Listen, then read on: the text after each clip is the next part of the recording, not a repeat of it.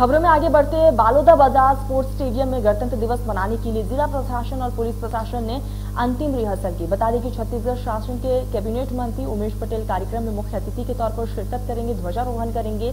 आज अंतिम रिहर्सल और गणतंत्र दिवस की अंतिम तैयारियों का निरीक्षण जिला अध्यक्ष डोमन सिंह और पुलिस अधीक्षक दीपक कुमार झा ने किया है। तो तमाम तैयारियाँ पूरी है और ऐसे में गणतंत्र दिवस को लेकर यहाँ पर सुरक्षा के भी तमाम इंतज़ाम किए गए हैं। तमाम अधिकारी पहले से ही निरीक्षण कर रहे हैं। यानी कि गणतंत्र दिवस को लेकर स्पोर्ट्स स्टेडियम में रिहर्सल पूरी हो चुकी है और तमाम इंतज़ाम किए गए, सुरक्षा के भी पुख्ता इंतज़ाम है।